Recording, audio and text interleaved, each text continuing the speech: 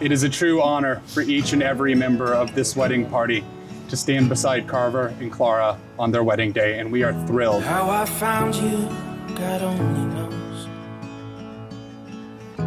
Must have shaped you from a dream. Made you so I wouldn't be alone. You have taught me that love is not something that is difficult or that has to conflict with other things. When you truly are in love, there is no question about what the most important thing in life is.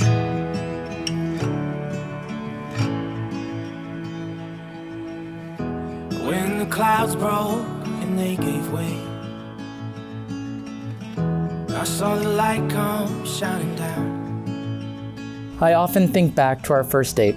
At that time, I could not describe the waves of feelings that were crashing over me nervousness, excitement, butterflies that I had not felt so strong and so fast before. I won't give you up, you know. I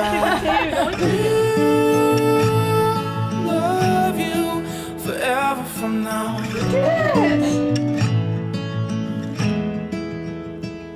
And I will. Carver, I feel so incredibly lucky to have found someone who is not only willing to uproot their life in order to follow their heart, but who is willing every day to put my needs first, no matter how busy or stressed you are. You're the sun beyond the April. You're the sky's golden crown. Of all the flowers that will bloom come May. You're the I found. I also learned about the qualities that make you such an incredible person. The person who I adore completely and want to spend the rest of my life with. Cheers, boys. And I.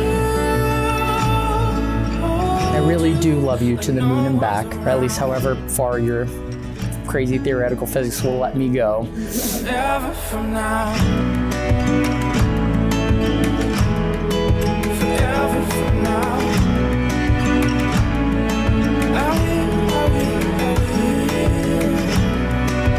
Carver, loving you is the easiest and most fulfilling thing in the world to me. And I cannot wait for us to continue to challenge ourselves and to make each other better as we embark on the rest of our lives together as one.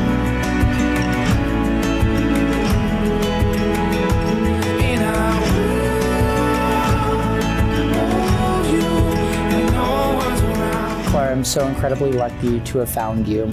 You are everything I've been looking for in this life. And just know that I would rather share one lifetime with you than face all the ages of this world alone. I love you.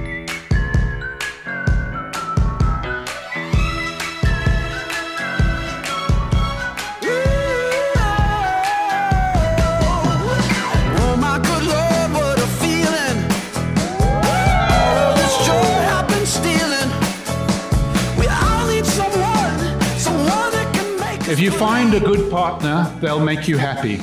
And if you don't, you'll be a better philosopher for it.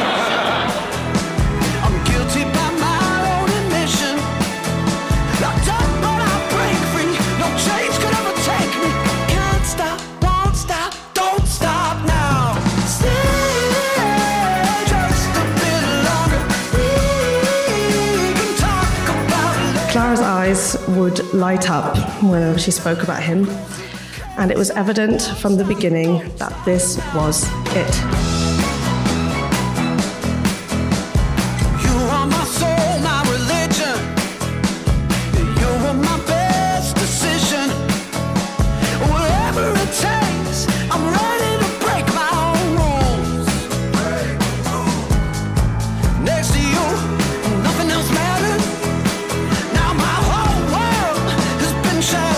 And by the power vested in me, I now pronounce you husband and wife.